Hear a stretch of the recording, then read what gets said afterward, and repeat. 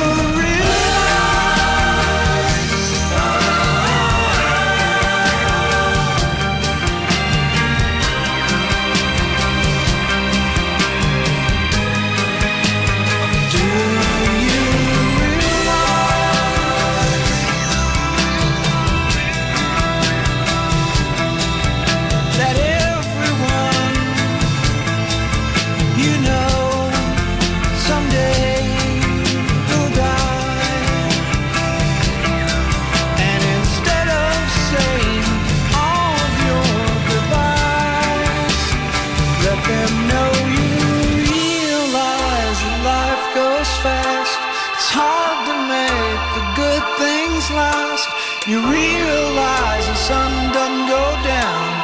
It's just an illusion caused by the world spinning round. Do